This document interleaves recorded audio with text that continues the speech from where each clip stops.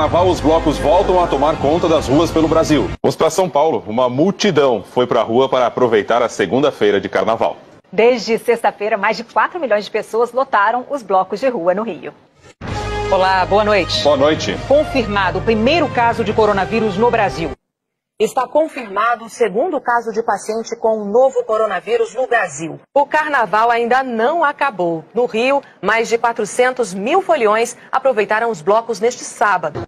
Em São Paulo, 150 blocos desfilam neste fim de semana e prometem levar uma multidão às ruas. O Ministério da Saúde registrou hoje 621 casos de Covid-19 em todo o Brasil. Aumentou o número de áreas do território brasileiro em que já não é mais possível detectar como ocorreu a contaminação pelo coronavírus. Que detectou a presença do vírus antes da realização do carnaval? Sim. Seus governantes tinham informações suficientes para decidir cancelar o carnaval?